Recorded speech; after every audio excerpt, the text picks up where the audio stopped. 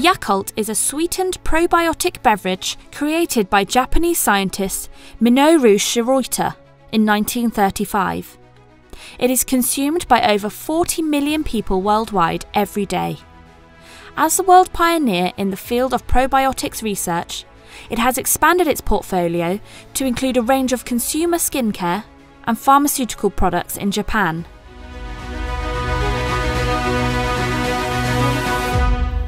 Yakult story goes back to 1935 when we started selling our little bottles of fermented milk containing billions of our unique bacteria L. casei shirota, which is scientifically proven to reach the gut alive. And currently, Yakult is sold in over 40 countries and regions around the world, including Japan.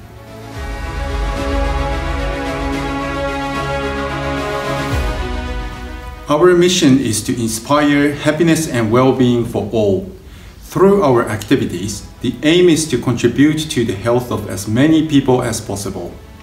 We are very honored to receive this award as a recognition of our efforts.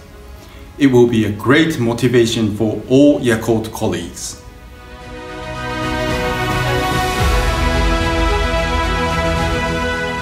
We would like to express our deepest thanks especially to consumers who supported Yakult, as they are our number one focus.